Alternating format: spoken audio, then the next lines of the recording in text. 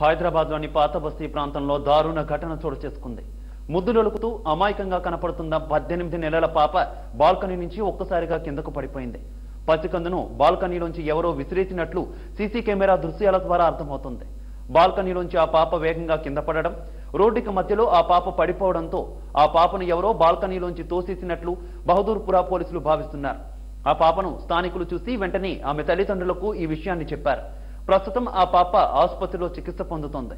ఆ పాప పరిస్థితి విషమంగా ఉందని వైద్యులు చెప్పారు. ఆ పాప తలకు గాయాలయ్యాయని అన్నారు. ఆ పాప తల్లిదండ్రులే ఈ పని చేస్తుంటారని స్థానికులు అనుమానం వ్యక్తం చేస్తున్నారు.